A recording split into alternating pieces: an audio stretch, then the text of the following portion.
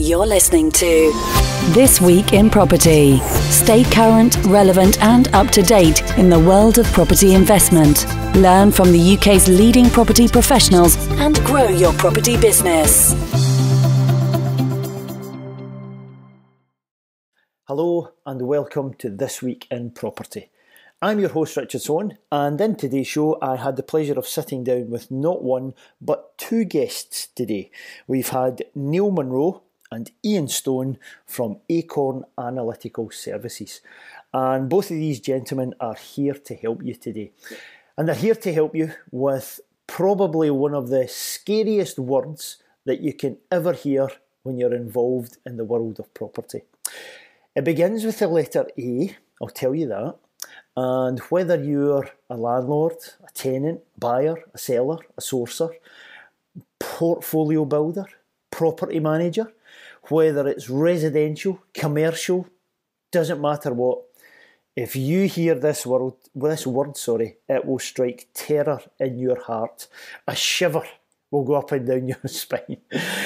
But I don't want you to worry because these guys, these guys are the experts in this field and they've got so much knowledge, so much experience uh, that they're able to help you with that. It was a fascinating conversation. I personally learned so much about it today, and I know that you are going to do the same.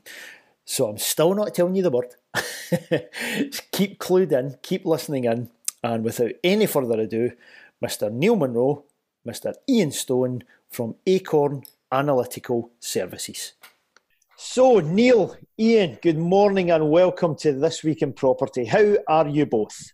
Oh, good, thanks. Yeah, all good, all good, thank you. Fantastic. I'm looking forward to this chat, and it's one of those scary chats. it is indeed. It's one of those things that if you put it on the table, it can sometimes scare a lot of people off from getting involved in property, from even thinking about property investment. You know, it's this big, scary A word that hangs over our heads. But uh, as I mentioned this in the intro, I'm going to going to keep the listeners waiting along uh, before we can get into that. I love I love teasing them. It's great. so before we have that chat, uh, and it's a chat that's you're, you're, you're here to help a lot of people when we get into that subject. So it's it's a brilliant thing that you're doing for for our listeners. I really appreciate it. But let's get to know yourselves a wee bit better. If I come to yourself first, Neil. Yep. If I asked you, you know, how did you get to this stage? What, what's your kind of career? What's the background? What's the, the little twists in the, the journey of life that have brought you to this? How would you answer me? How would you come back with that? Um, well, am I allowed to say the word yet? no, let, us get on the table. It's the big scary word asbestos. Yes. And it's one of those, if we see it written down, if we see it on a report, if someone talks about it, if we get a chat on the door for a property manager, it's like, oh my God, it feels like yeah. the end of the world. It feels yeah, like yeah. just mission impossible.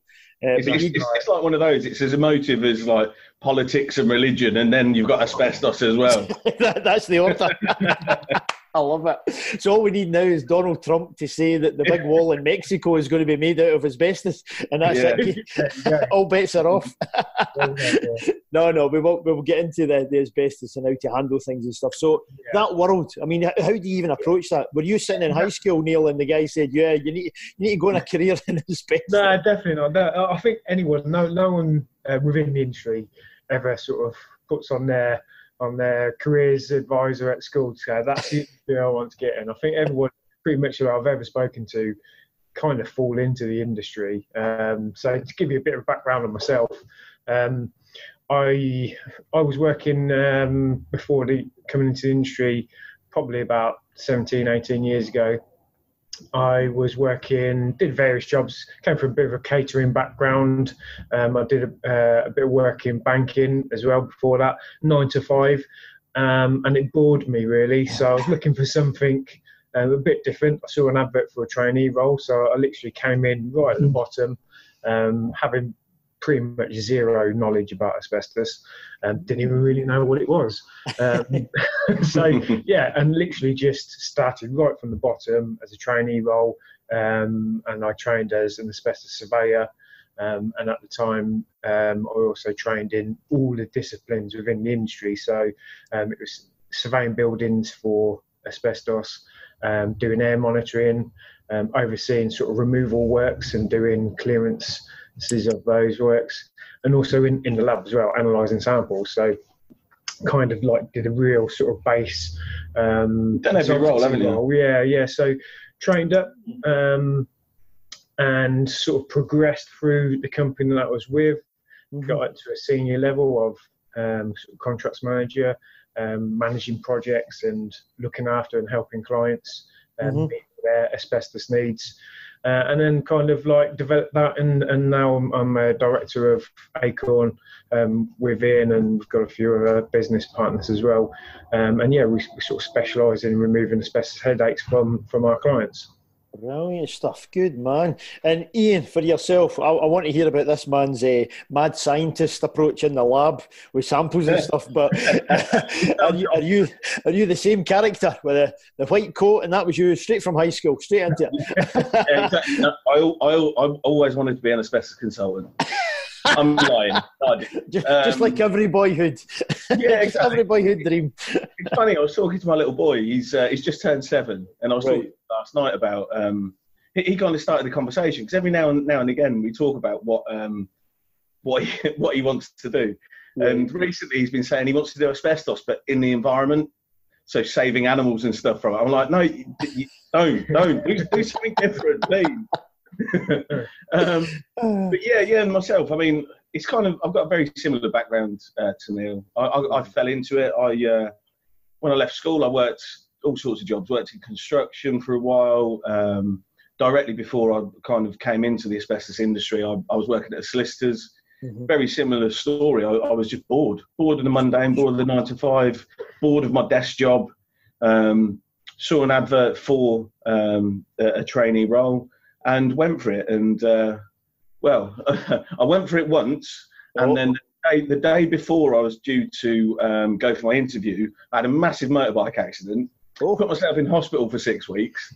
Um, really Oh. did ruin myself. Like I've got pins and all sorts in my arm, and uh, oh my goodness. yeah. And then it so about a year later, it was kind of a fate thing. I think I was destined to uh, be in asbestos a little bit.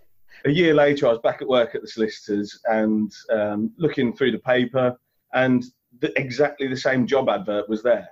Um, Wow. yeah, so I contacted them and said, "Oh, I don't know if you remember me, but I couldn't come to the last interview because I nearly killed myself." Um, Which is a great excuse. yeah, exactly. exactly. You're going to give an excuse. um, they said, "Yeah, no, we remember you."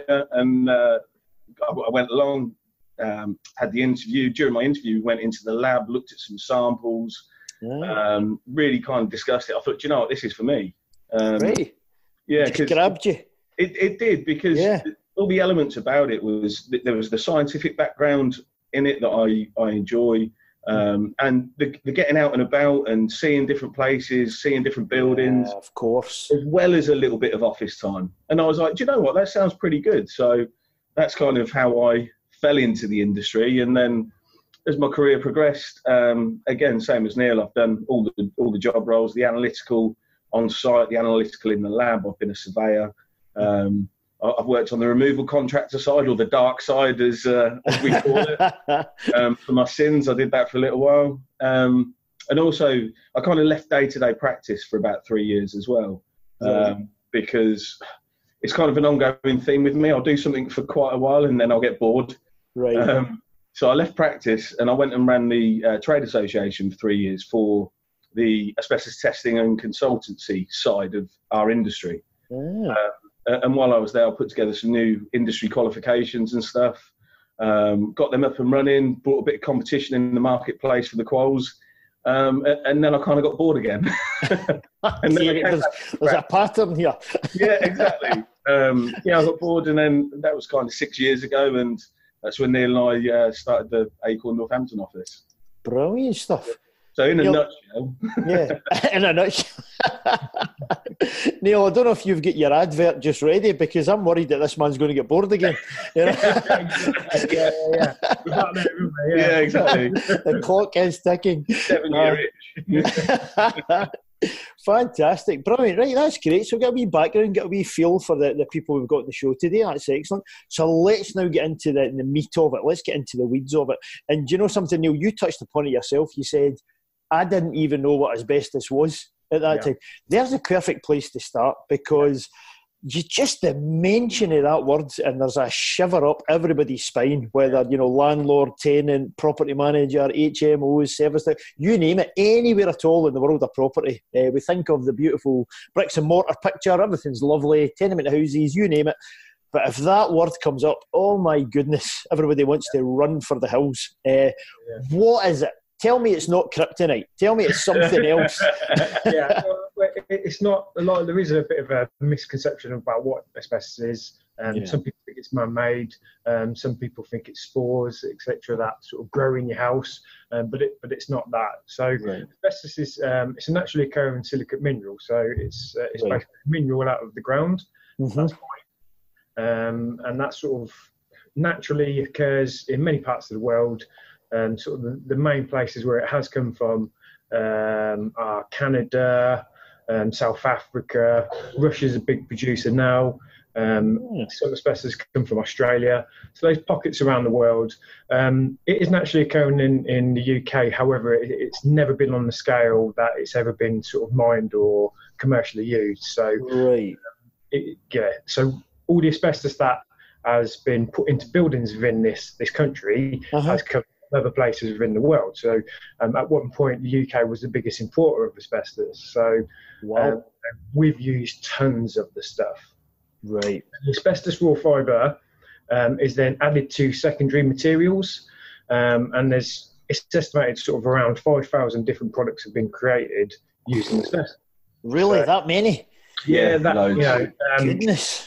us as surveyors we're in the industry, we're still seeing stuff uh, that we've never seen before. Yeah, our, our guys bring stuff back monthly. At, at least once a month, twice a month, there's something that you come back and go, wait until I show you this photo. And they show the photo and it's like, I found that Never seen today and we've never seen it. Yeah. Oh my Um, goodness. Yeah, it's madness. Yeah, it, it was kind of there was a rule of thumb um, when asbestos was used at its height. Um, the industry thought if if there was a product that we can make better Mhm. or cheaper by adding asbestos to it, then that's what that's what happened. That's what they did. Wow. That's crazy. Just Yeah. some crazy stuff. I mean, um, we, we, we teach uh, asbestos awareness um, courses and Mhm. we've got some weird and wonderful things in there. And I mean, some of the, some of the things that come to mind of uh, dishcloths it was in. Um, it was sold in dishcloths in America. There were um, kind of booties that you could wear and line your boots with. Um, just some really random Yeah, ones. fire suits. Um, you know, Wow. we, we weren't just building with asbestos. We were wearing it. We were using it in everyday life. So, some of the old films they used uh, asbestos snow. Yeah. Oh, It- really? In the. Yeah, so Just for effect? Yeah, wow. Uh, Wizard of Oz and uh, I think it's Bing Crosby's White Christmas. Uh, there's like scenes and it's just snowing down and Oof, Raining down asbestos. asbestos that was used. Yeah, That's incredible. Now, Ian, I mean, based on what Neil's telling me there, you know, it's this natural, you know, element, substance, whatever comes out of the ground, all around the world in different elements. So the, the two things that kind of pop up for me straight away there is number one, well, that must mean it's completely fine because it's natural. So what, what we're worried about. And then number two is, what is it about the substance that led us to throw it into absolutely everything? You know, these 5,000 products. What is it? What characteristics is it about it? Or put it in there or add it in such and such? yeah, Yeah. Well, I mean, the, the main characteristics are sort of um, fire retardancy, chemical resistance, uh, good. It's kind of good at adding strength to other products as well. Really? Right, okay. I mean, i- in ancient times, we- know in ancient times uh, in Greece and stuff, they were using it in clay pots and things to reinforce uh, the clay pots that they were using to cook with. So ah, it's not kind of a new thing. Um, and some of the old philosophers were writing about the fact that uh, their slaves were dying from using this raw material and using it within their products. right. So it's kind of, yeah, we've known about it quite a while. Uh, wow, yeah. That's that's the first uh, Acorn office back in Athens. yeah, exactly. Yeah, I might win there now. That'd be quite nice. Yeah, yeah, yeah. right, okay. So that then makes sense. It's got these properties, got these characteristics, and, and you can see that it leads on to things. Sorry, Yeah. Neil, you were going to say that. Yeah, there's kind of there's nothing that's ever been um, found or created that could do the job as good as asbestos. No. Um, and that's so heavily used. And and that, so you've got a, a, product which is does all these magical things, and it was marketed as the magic mineral. Right. You know, it was so good at what it did, and at the end of the, the day, it was a source which they could dig out of the ground Sure. use. Yeah. So it's kind of an abundancy. Um, the, uh, as the the industrial revolution sort of geared and the mining techniques were were, were better, you know, we could get all this stuff, you know, in abundance, uh, and it was so good at what it did, and everyone, you know, was was trying to come up with a new way of using this material, um, just because of that. Because it's there and we Because could it was use so it, good, and it was cheap. and it was Yeah, cheap. exactly. It's ready Yeah. available. Okay. You know, it's funny. It, it reminds me of something I've been reading recently about the, the fabric. I think it's called the fabric hemp.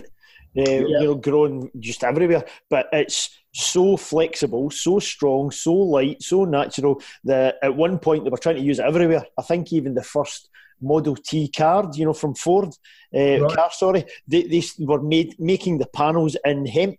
Really? Wow. And uh, yeah, it's quite fascinating. And then through a whole host of political uh, manoeuvres and people trying to uh, consolidate the industry, uh, Mm. it was just you know it was kind of cast to the side and it was kind of uh, poo pooed upon, and they started using other fabrics. It seems very similar to that. You know, It the- does. It does in, in Yeah. the flip. It, yeah, in the flip of that, like the industry got behind it Yeah, and uh, propaganda uh, around it. Like, it's similar fashion to the cigarette industry. When Mm. uh, 60s, 70s, um, people started saying, "Oh, is Is it killing people? Yeah, is this actually killing people?" And I mean, uh, they came out, they funded their own. Says, "No, no, no, everything's fine Yeah. with cigarettes. You're fine." And it's That's kind of similar that in the in the asbestos industry. Um, yeah, definitely. the, the kind of the three main types are that m- most people have heard of are, are white, blue, and brown asbestos. Right. Um, white being chrysotile, brown being amosite, and blue being crocidolite. They're, they're the Okay. uh, proper middle names. Um, Right. a- And there's this kind of misconception still now uh, about that. So in the industry, we treat all asbestos types as the same. They're all treated the same danger level. There's not a difference. Okay. But generally speaking, when you do speak to people, they think that brown and blue are the worst, and white's kind of all right. really? And again, like we, we believe that that came from the the industry that was using it and the industry that was mining it, Mm. um, and they kind of brought on a self ban originally when um, everybody started saying, "Oh, asbestos is bad." They kind of said, "Well." The, the blue's bad. I'll tell you what, we'll stop mining blue, but then brown and white's still all right to, to use. Um, a- and that's kind of where that misconception came from, I think. really? Okay. They're trying to guide opinion and you know. Yeah, definitely, definitely. Because um, in, in this country, we, you know, we heavily used uh, chrysotile white asbestos. It probably makes up about ninety percent of all um, asbestos products contains white asbestos. So Right. about that, um, and the manufacturers um, in this country and the UK had the biggest in the world at one point. Um, they only used white asbestos, so you can kind of see why they would volunteer not using the bad ones. Um, yeah, of the course. white one was not as bad, so Yeah. let's still use it. Gotcha. Gotcha. And the white, it, it was easily used in more materials, wasn't it? Like yeah, you, you could yeah, weave so it versatile. and yeah, yeah, Ah, right. weave Okay. it and stuff. So Gotcha. Gotcha. Yeah. Now, the first part of that question, then, uh, the fact is, hey, it's natural. You know, it's, it's, Mm. it's in the ground. We can pull out. So, what's the big deal? What we're worried about? What is it about it that makes it a problem? So Well- it's basically when um, the asbestos fibre, what happens with them? Um, they, they become airborne. Right. Um, when- they're disturbed, the, the fibres become airborne, um, and the, the, the fibres they split down the length. So best way to describe it is like a cheese string. If if you've got kids and you ever seen a kid's cheese string, it's like you can literally keep pulling it apart, pulling it apart, yeah. and it splitting like that. And the, the problem with that is that each fibre it stays the same in length, but it just Uh-huh. gets thinner, and then it becomes airborne. And once it's airborne, that's when we can breathe it in. And that's the issue: is that it, it goes so small and so thin that we breathe it into our lungs, and then um, our body's own natural immune system it can't get rid of it. right. uh, It, it will lodge in our lungs. The white blood cells attack around it, trying to remove it. They can't remove it, Mhm. and then um, that's when the disease kicks in um, because those kind of where it's set in that then becomes malignant, um, and that's where the issue uh, arises from. yeah. Ah, I see. because of the, the natural um, chemical resistance that the of course has. Um, that's why it was used. So when um, you know each of those tiny fibers still have the unique properties of the original. So you know when it gets into the body, the body just can't break it down. So Sure. uh, that can lead on to various different um, asbestos-related diseases. Hmm. That's fascinating, isn't it? The the very things, the very properties that make it so good and so useful Yeah. becomes such a danger to our physical bodies. That's quite fascinating. Yeah. Absolutely. So we just we cannot process it, we cannot pass it. There's there's nothing like that that our body can deal with, you know, just No. because of its characteristics. Yeah, it's believed like obviously you you're exposed to asbestos fibre, so um, asbestos products only become really uh, an issue when they get damaged or disturbed and they release the actual fibre.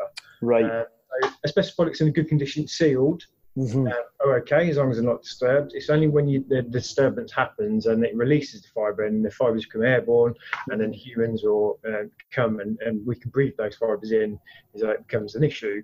Now, um, breathing those fibres in, the body will naturally sort of um, get rid of some, but anything that gets lodged within there could then go on to to cause those diseases. Yeah, I mean, to give you an idea on, on sort of figures, the uh, there's over 5,000 people dying a year from asbestos-related diseases.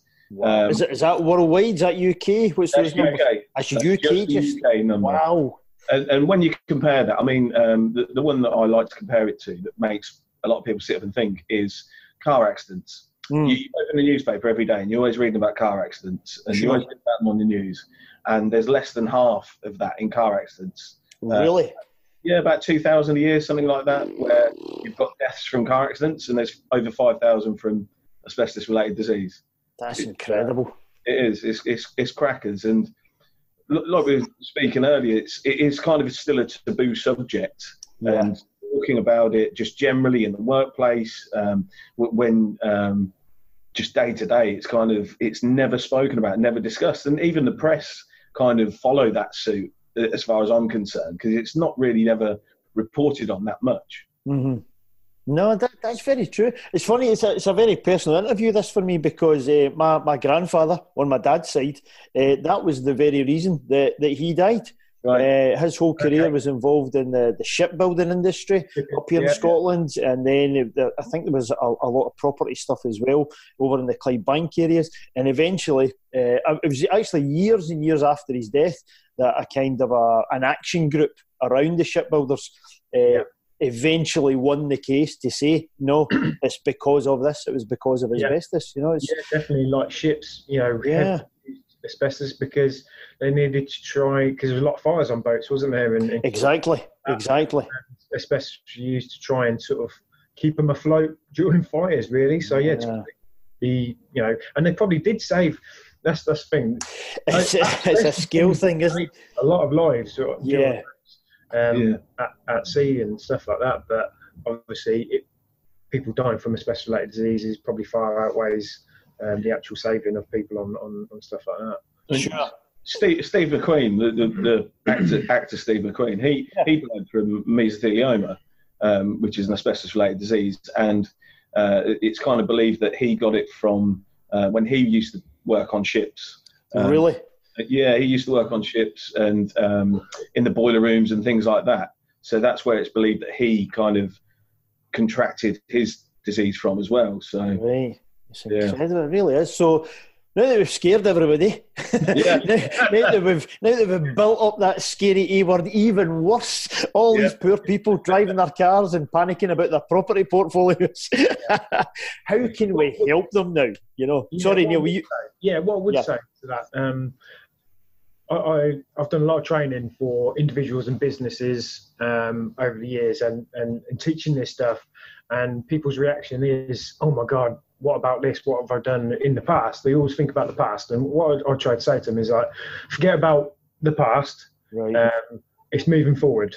And you need to take the knowledge now to make sure that you're um, safe moving forward Mm. because with asbestos, although um, there's, there's no sort of known level of exposure that can trigger a disease. So, yeah, Right. and everybody's bodies are, are probably different to, and you know susceptible to different levels of um, asbestos exposure. So um, all that we do know is um, the greater the exposure, the greater the risk. So Sure. um, what we need to just try and reduce that risk as much as possible and reduce that exposure as much as possible. Right, gotcha, gotcha. So, people that are listening in, you know, these investors, managers, property organisers, portfolio owners, etc. what should they be thinking about when it comes to, you know, maybe looking at a new property, a new opportunity that's coming up? Should they be looking for something inside the report? Should they be looking for something physically within the building? Should they be thinking about it at all? Should they only be thinking about it if in their brain this particular deal I'm going to knock through these walls, or I'm going to Yeah. completely demolish it, or I'm going to build an extension. Where is it you kind of guide them when you're training uh, people like that? So, any any building built before the year 2000 in the UK may contain asbestos. Right. So, for, if you're looking at a, a property um, that was built before 2000, you need to think about it. Uh, and what we always say is think about asbestos first, not last. Hmm. And the reason for that is, um, especially for property and property investing. Um, so, say you're going to look at property, it was built, I don't know, late 70s, early 80s. It's got a real good chance of it's got asbestos in. Right. Um, now, when you're looking at the property, it, it can br- bringing it up as an issue and identifying the asbestos. So, if you're, it should be undertaken as part of your due diligence.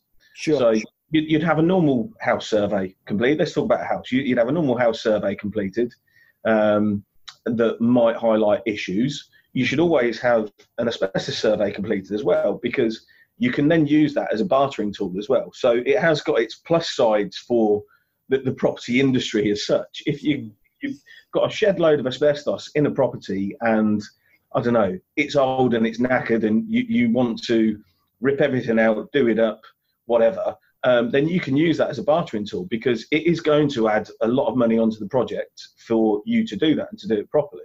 Mhm. So you can kind of use it on on that circumstance. Um, and I mean, even if even if the property is in sound condition but there is asbestos there, it's still another thing that you can take to the seller and say, well, look, it's got all this asbestos in. Um, it might be an issue in the future, and again, you could probably barter down and use it as a bargaining tool. Guys, I think it's an interesting viewpoint. That's right. Part just part of your normal negotiation. Yeah. Yeah. yeah, yeah. The, the thing that um, some people don't quite understand is um, a, a normal surveying or surveyor, building construction surveyor, Yeah, like a Rick, Um, a Rick a surveyor. risk surveyor, he- Yeah. Trained to identify or survey for asbestos. Of course. Although they, although they may comment on on visible stuff, um, and their, their favourites are sort of Artex texture coatings on Yes. stuff and garage roofs, they'll comment on those things. Um, however, that that's not adequate for uh, to say it's an asbestos survey. So yeah, Right. an asbestos surveyor would need to do that. Yeah. Yeah, and the reason for that, um, be, because when we do asbestos surveys, we take small samples of materials, and that's where the lab work comes in. So we bring them back to the lab, we analyse the samples uh, through two microscopes, and only when it meets certain criteria that we're looking at, we then identify it as one of the one of the asbestos types. Right, right. And is there a part before that? For example, if there's a, a builder on site and he's about to, you know, tear down a big, large outbuilding, big kind of garage and stuff, does he see something that thinks I should probably check if that's going to be asbestos? Is there a, a physical thing that they look at, or is it not? Actually, it's blind luck. You need to just Yeah. sample everything. How, how does that work? So to give you the so the regulations uh, based in the UK, so um, an employer um, has a duty to identify if their works are, are going to disturb asbestos prior to them starting works. Right. That goes across um, the whole industry. So whether you're working in a domestic setting or commercial setting, um, that employer before he sends his workers in has to identify if there's a risk there or not. So Gotcha. an electrician going to do electrical works in your house, that employer has a duty to identify whether they're going to disturb asbestos or not. Now, this is probably one of the regulations that's um, not complied with the most um, through day-to-day works throughout the whole UK. Okay. Especially in like the domestic especially market. in more. domestic setting. Yeah. Commercial side is, is because that's covered as well with under another regulation. So there's a duty to manage asbestos in non-domestic premises. So Okay. the holder responsible for a building, you've got a duty to manage it. Um, so there's two people sort of looking at the asbestos element um, when carrying out works within commercial buildings. But on obviously on the domestic side, where you've got you know um, Mrs. Smith, she's not going to have an asbestos survey. She's not going to know anything. So that's where the employer, before he starts works, has that duty to to make that assessment. So, so yeah, on that, b- before any refurb work starts, the, the, a refurb survey should be carried out um, in line with the scope. So we were talking about taking a wall out. Well, anything that could be affected, the, the floor, the wall, the ceiling, um, needs to be tested. Plus, also, is there anything in the cavity of the wall? So that's what the surveyor would do. They would inspect within the cavity of the wall because Right. in, in walls it's been used as liners, packers, all sorts of things. Yeah, and the way the way the regulations are actually written is um, the, the employer has a duty to uh, identify if there's uh, an asbestos risk there, or presume worst case. Yeah. So and that's specifically how the regulations are written. So there's no sort of like, oh, I didn't know, or oh, I'm not sure. I started works and then I found it. It's like you've got to do that before you do anything. Gotcha. Gotcha. Okay. So let's move that step forward then. So those samples, those tests, how does that work? What, how much needs to be taken away? How long does it take to get a result back? How much is it going to cost me as a builder, as an investor, etc.? What things do I need to think about there?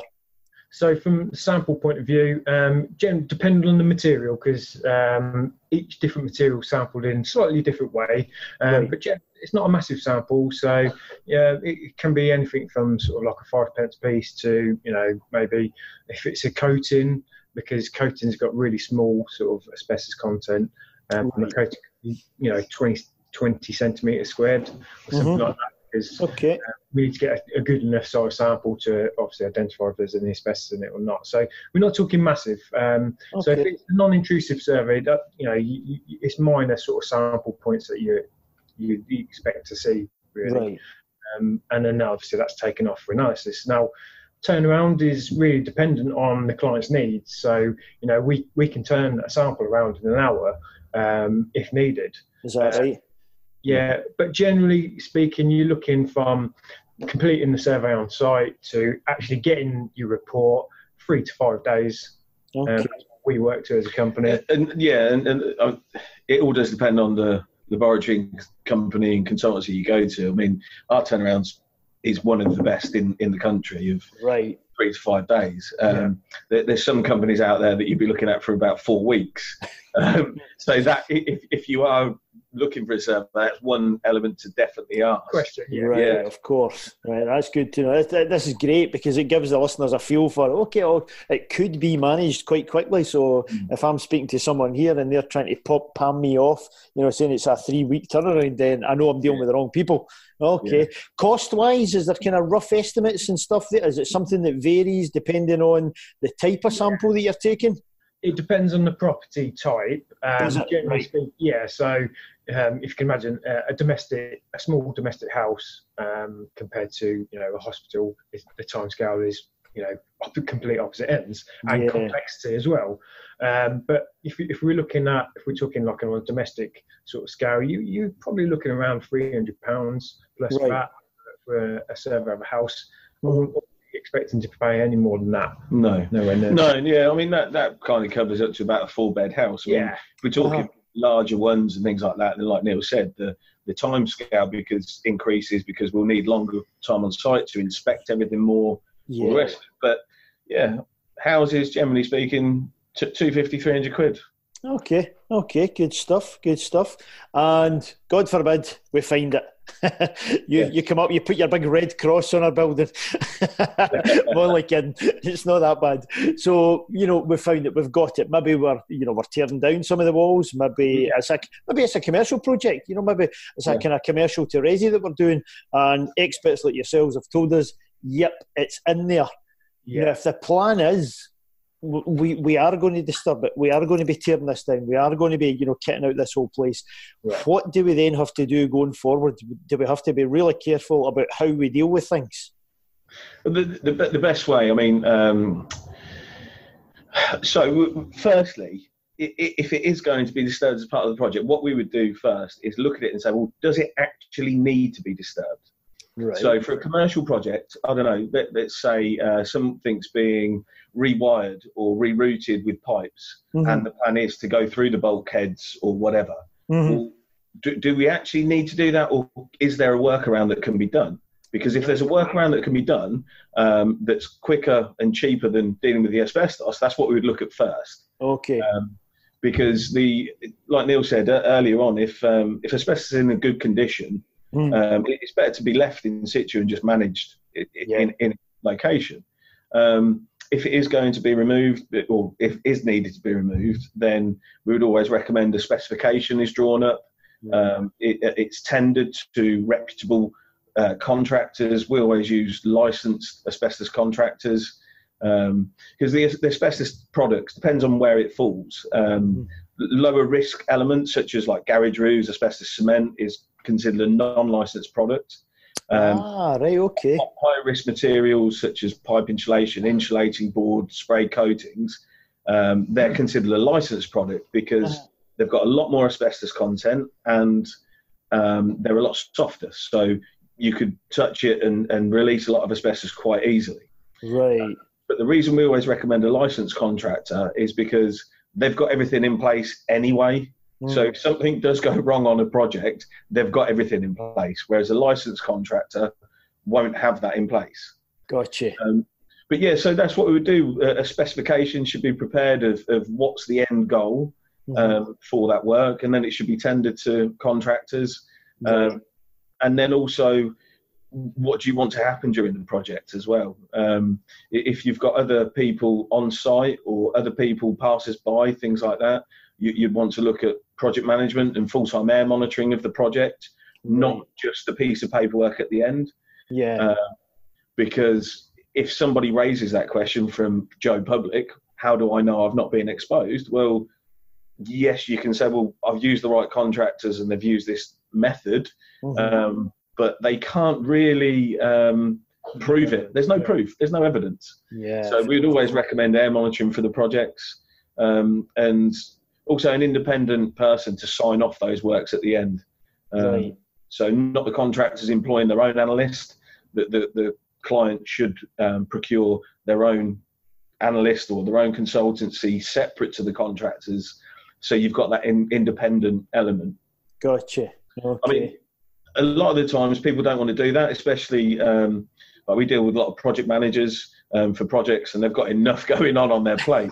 so that that again, that's where we kind of remove that asbestos headache. We will take a client all the way through from the survey, we'll spec it, we'll tender it, we'll manage the works, sign it off, and provide all the documentation at the end. So, right. although there is an issue there and it is a bit of a pain in the ass, it's kind of a, a, a lesser one. If, if, if yes. And it's been completely outsourced. It's right, okay, I yeah. don't need to concern myself about that. Those guys are handling that part of the pro- uh, problem yeah, for me. Yeah. Okay. I think something that um, Ian said about the, the, the specification, I think that really is important to get right at the front end because mm.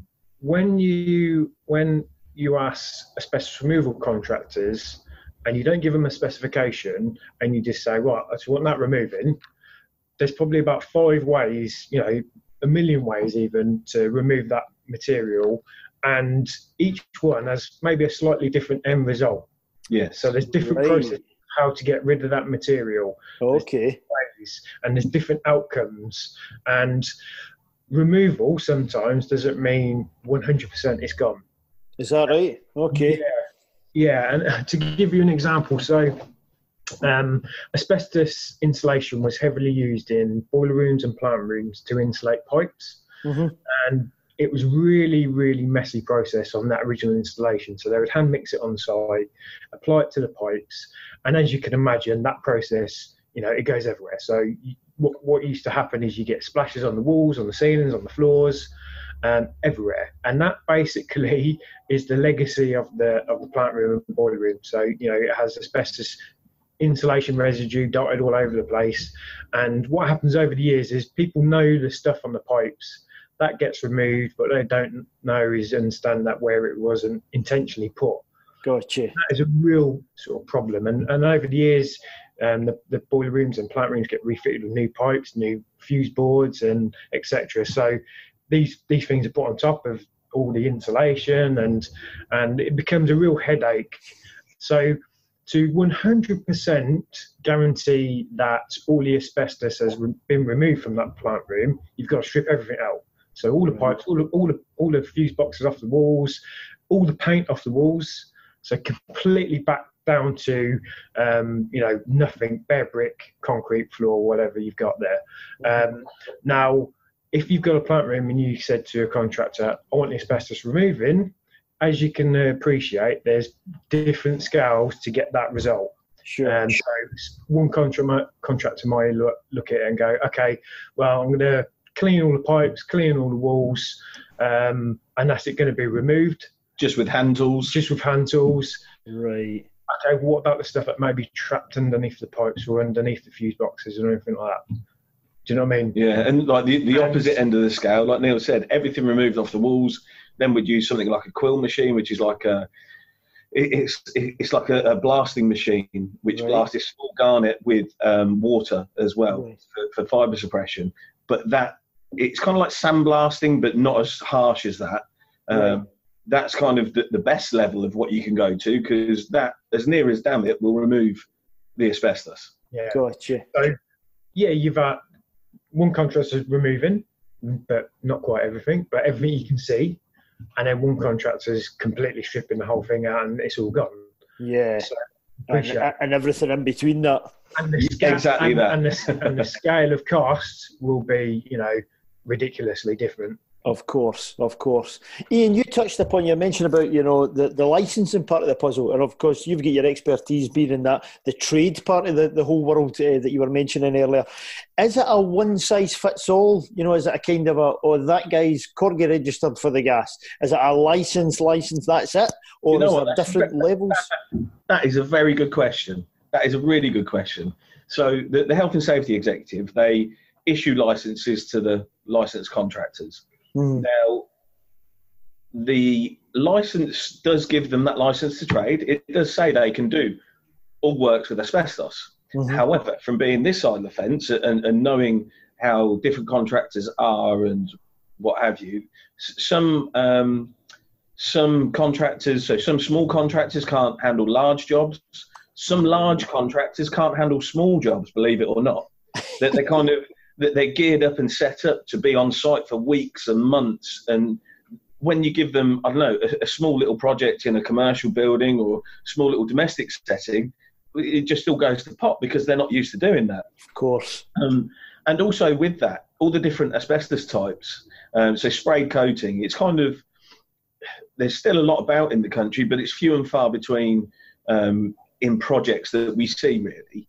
Mhm. So when you engage a contractor to deal with spray coating, um, I mean they're kind of the worst jobs that w- we deal with because the high asbestos content. Essentially, it's virtually 100% asbestos. It's sprayed onto beams or ceilings. So removing that in a controlled manner um, and making sure that the right project happens and we're not getting exposure and things like that, you Yeah. really need a contractor that's got that experience and expertise. Whereas on the face of it, you could have two, and they've both got the bit of paper saying they can do that. In reality, only one of them can. Mm, Gotcha. Yes, that's a very good question. Aye, excellent. That's good. Oh my goodness, we've dove into the weeds here. I'll tell you. Listen, I want to be respectful of your time, but uh, you're here on a podcast this week in property. Fantastic. It's brilliant having you. But you guys, you've also got podcasts ticking along as well, haven't you? As Asbestos Knowledge Empire, yes. That's the one. That's. Yeah. And how are you finding that? How's that been going for you?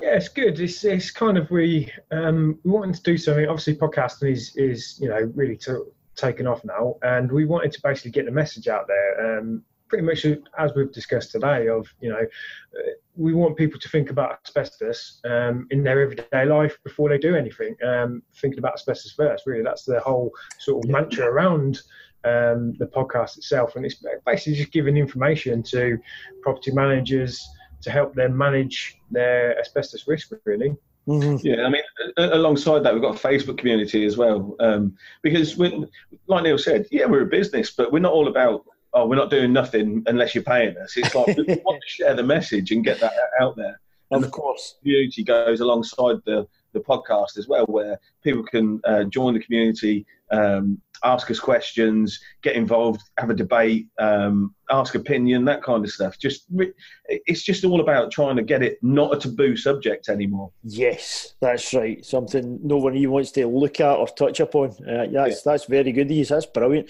No, listen, you have been fantastic today. I mean, some of the stuff I've learned is fantastic, uh, and I know the listeners have got a lot from it.